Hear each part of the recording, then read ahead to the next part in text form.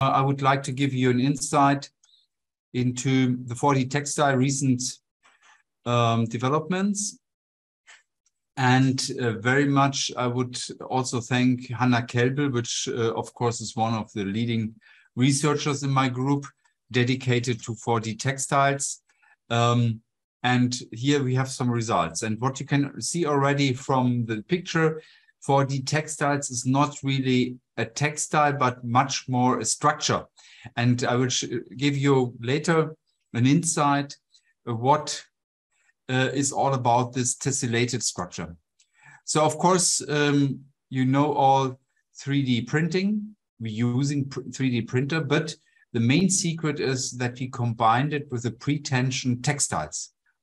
And um, this is the main key. Uh, so 4D materials, I think the entire conference is all about, you know this, means that you print in 3D, but you print a material which um, ch changes its shape due to stimulus, shape um, memory poly polymer in this case. And um, yeah, and of course, this is 4D materials. But here we talk, uh, we use, of course, the question is not only for fancy stuff, but can we use, for example, 4D materials, for example, as a gripper. And as a gripper, you can, of course, use the, the 4D material directly, or you can use the tension and the bars as a kind of um, mechanical reinforcement. and actually, um, just to already uh, disclose a secret, this is more or less what uh, nature does, um, because nature combines always um, different kind of method. So this is, of course, 2015, when at MIT, uh, the 4D material topic with Miss Professor Tibbits was developed.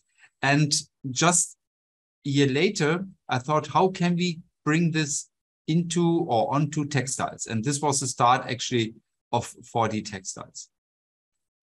You can see here the print onto a pre-tensioned knitted fabric and you use the membrane tension plus the bars in order to have an extraordinary shape of uh, change of shape. And this actually was what, what nature uses if you go for um, a bat wing or whatever, and also with some leaves, you have this combination about membranes and bars. And so I've um, 2016, I um, formulated 4D textiles as structures and textile products that can change shape or function over time. And it's always a combination. We have a, filed a patent. If you take then the different um, paragraphs of the patents, then you will see that it's a combination of pre-tensioned, highly elastic textiles plus rigid bars. Okay, it's always um, the question, nice definition, but what does it make mean? Here we have uh, one of the prototype. We were working, looking for applications. For example, an application in medical use for older people who lost force to grip.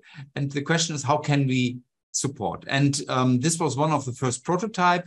In order to make this kind of figure, we had to use a rotary device. So we developed a special device to um, control uh, the textile in the printing zone. So this also underlines that we from the Institute for Textile Machinery, we also not only doing the product, we also develop machinery. And um, here you can see, um, taking this finger and giving it a stimulus, um, then although those polymers have only a small change of shape, but in addition with the membrane and uh, this 3, 4D structure, you achieve a tremendous change of um, shape, change of shape.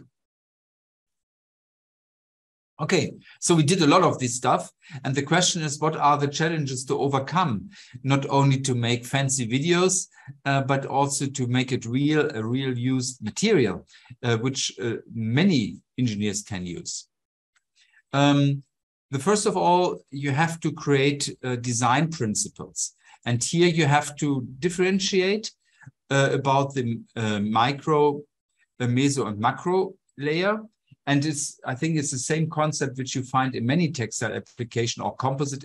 Eh, um, but of course, here in a different um, interpretation. So the uh, micro part is, for example, the membrane and the beam. The composition of that forms an elementary cell, for example, a ring, a square, or triangle. And then you, by using tessellation out of these basic geometries, you define an entire system. This is a macro um, level. To give you one example, The micro level is the membrane.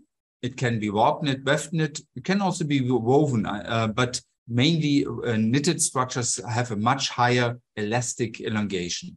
And then you combine it with a rod or a tile. And then you compose it into, for example, this single structure. And then you, out of this uh, meso basic structure here, a triangle, uh, a triangle with different bars, and therefore it sh shapes already three-dimensional. Then you tessellate it into here a hexagonal structure, and it becomes a system.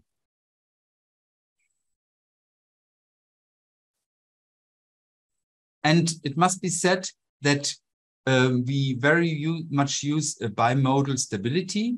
So you have, like you have here, once you pressure, pressure, pressure, and sooner or later it flips into a second stable position.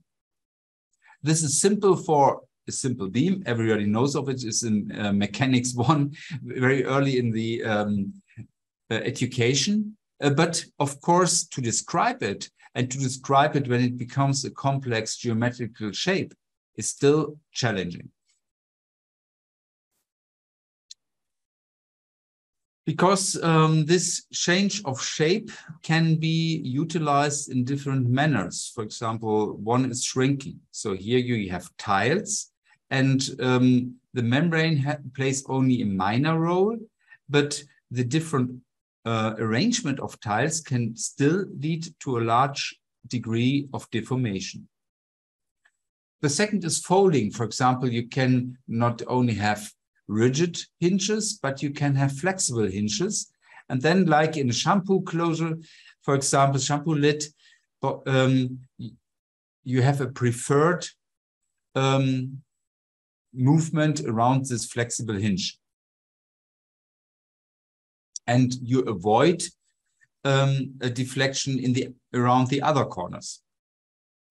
And then, of course, you have the effect of bending, like you can see here in the smaller beam, but also in the larger beam. So these are the basic, let's say, deformation principles.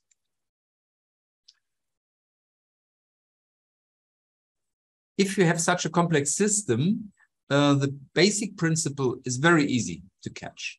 Um, but it becomes, of course, um, very versatile if you not only play with the basic structure because these are all rectangles. But if you play with the arrangement of the rectangles and as well as the shape of the rectangles. So although everything is here composed uh, out of rectangles, the deformation behavior is totally different.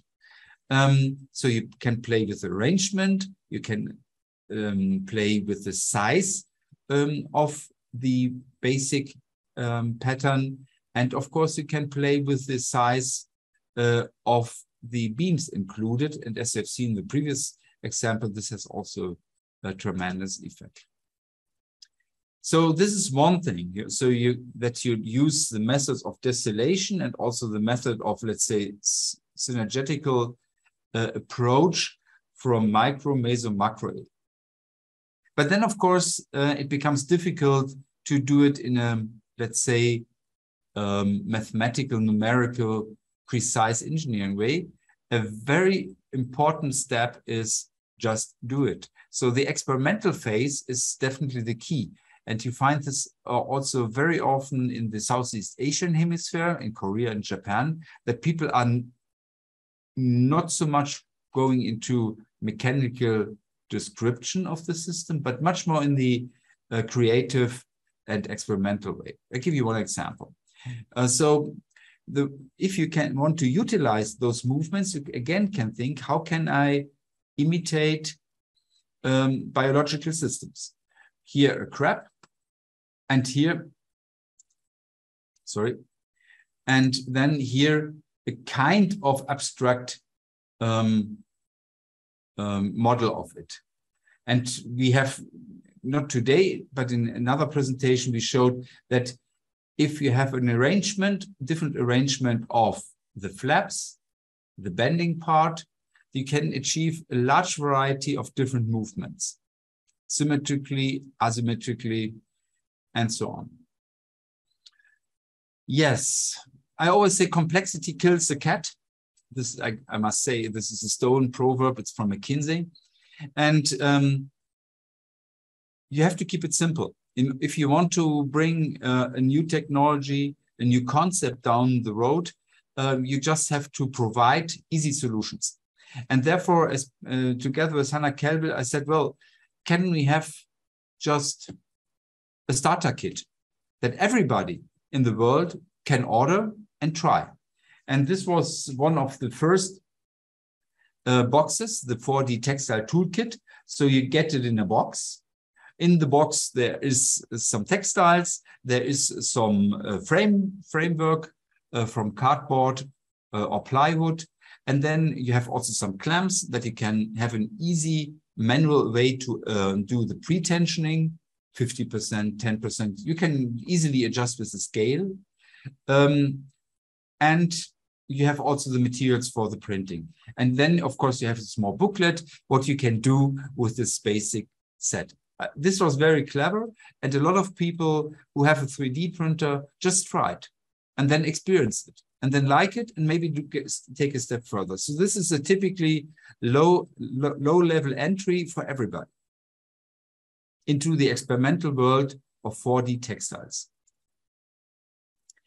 Of course, um, we are working in our, Aachen is very famous for production technology. We have here the only excellence cluster for production, where some hundred um, research work together on the future of production. And one is, of course, the production of soft structures. And here we are in the lead. And here we do two things because it's Internet of production. So we have to think, can we describe the product and simulate it? This is on the left side. And uh, can we also develop products out of it? But then, of course, how can we combine it with uh, advanced manufacturing? So we have, for example, developed um, a movable 3D printer. We have developed different uh, devices to manipulate the textiles. We have here used uh, a 3D inkjet printer plus um, a, man, uh, a, pick and place um, equipment for the electronical part, the heating part, for example, for some of the 4D textiles. And then, of course, we um, developed uh, an integrated production system. So this, of course, is in the doing. Maybe the next conferences, I will present more results, um, which are not only developing and fancy structure, but also showcasing the automated and model-based um, design and production of 4D textiles. Thank you very much for your kind attention.